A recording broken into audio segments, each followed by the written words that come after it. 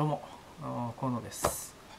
えー、っと今日はですねあの前々から欲しいなと思ってまあブームにはちょっと乗り遅れてますが買いました。あのですねちょっと鉛筆を買ったんです。はい。その名も大人の鉛筆。よいしょよいしょ。ここでいいのかなここでいいのかな。大人の鉛筆。ねええー、なんかやらしいみたいな、えー、タイトルですが 何がやらしいんだ？えー、っとこれは北星って読むのかな？それともえー、北西って読むんですかね、えー、鉛筆株式会社ということで。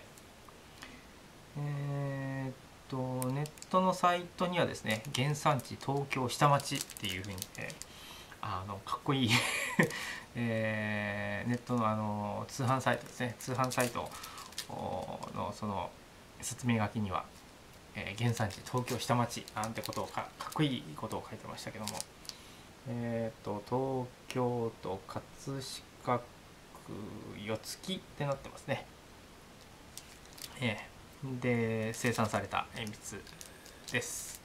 えっと、こちらの鉛筆ですね、あの、あれなんです、あのテレビで、まあ、何度か取り上げられてて、えー、取り上げられてた会社でですね、あの、もう古い機械でですね、もう今じゃ、日本にそこだけしかないんじゃないかっていうような機械で、えー、今も鉛筆を作り続けてる会社が考案した鉛筆型のシャープペンシルですね。でこれをちょっと、まあ、前々から欲しいなと。まあ、鉛筆好きではないんですけれども、あのー、ですね、シャープペンじゃちょっと満足してなかったんですね。でシャーペンで満足してなくて、あのー、普段はですね、あのあれなんですよ。あのー最終的にはもう今一番使ってるのはあの設計事務所なんかでこうあの使ってると思われるよく使われてると思われるですね。あのペンシルをずっと使ってますね。結構。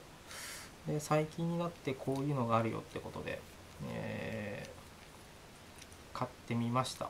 えっ、と今持った感じそうですね。持ちやすいですね結構。で芯もここ太いな2ミリの芯。太いなこれちょっと太くないですか？分かります？ねえ。ー、っとこれ 3D だから分かるかな分かんないかな？どうかな結構太いですよ。ね。これよいしょ。見えますかね？よくしょ。でまあこれのあの新削り器なんかもあったんですけどまあ、えー、あえて買わずに、えー、これとですね、えー、会心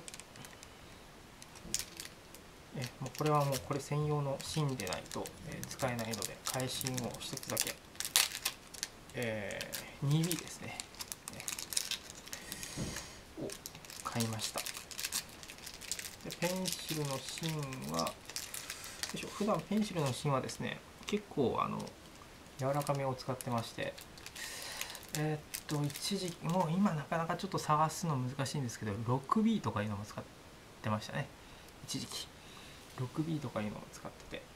でよいしょ。お5本。このちっちゃい中にですね。トントントントントン。5本。入ってますね。入ってますね。よいしょ。よいしょ。入ってますね。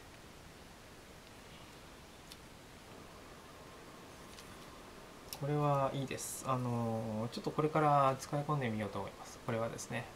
あのうん。あのもしよければこういうこの鉛筆型のあのシャーペンっていうのあの欲しいよっていう方はいいと思います。ただ芯がやっぱりあの特殊なものになるので2ミリ芯っていうちょっと特殊な規格のものになるのでなかなかおいそれとあのコンビニなんかで芯がなくなったからちょっと買ってこようなんてことが、あのできないんで、えー、こういう返芯はですねあの必ずもう常にストック常備しておく必要があるかと思います。ただ芯1本がかなり長いんでですねこれ。よいしょ。本が長いっすよこれ。普通の鉛筆の芯ですからねこれね。ほぼ鉛筆の長さですねこれね。鉛筆よりちょっと短いのかな。ちょっと短いぐらいですね。これが1本丸々この中に入るわけですから。まあそうそうはなくならないと思いますけど。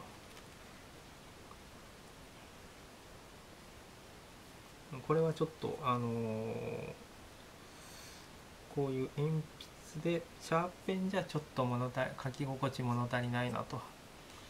鉛筆がいいなという方はですねただ鉛筆じゃ嫌だなという方あの削鉛筆のこうね削るのがめんどくさいっていう方はやっぱりこういうシャーペンタイプがいいと思いますんでそういう方はいいんじゃないでしょうか、ちょっとあの使い込んでみたいと思います。これからですね。はい。ではまた。